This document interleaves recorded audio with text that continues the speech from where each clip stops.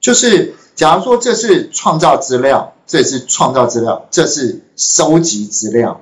收集资料就是来自于民国一百年。这个时候呢，这个创造资料啊，其实我们有比较快速的一个做法来去看一下怎么样去做。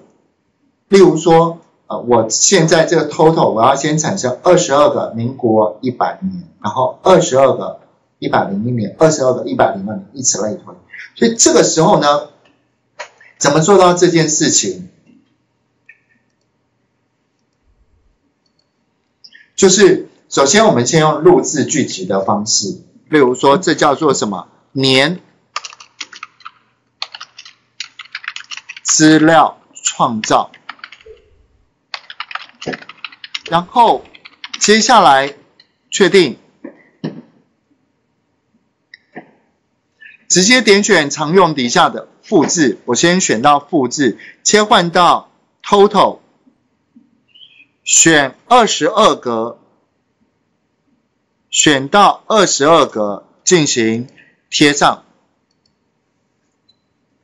完毕之后呢，我必须要移到最下面的下一个，然后到 list 这边，是不是也是往下移动一个就结束了？然后接下来我去修改一下，修改一下我的。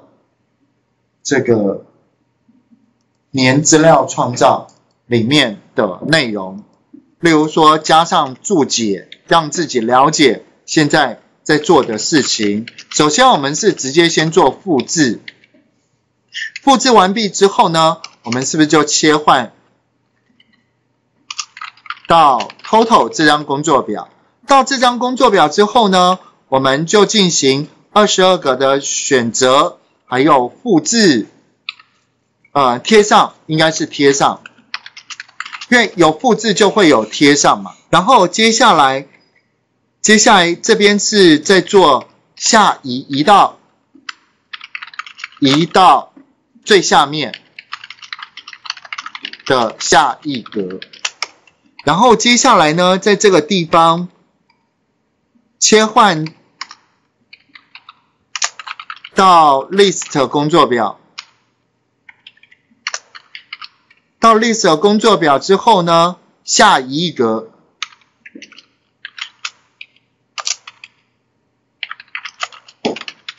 好，然后大致上年的资料做完了，但我们接下来是不是要做重复做这件事？所以写一个 if，if 什么呢？if 作用。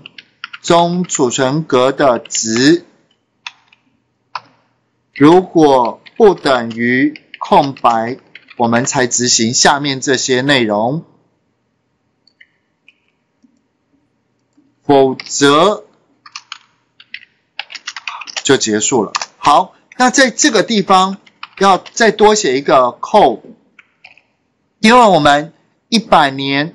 做完要做一百零一年，所以等于重新回去再执行一次，好，直到它是空的为止。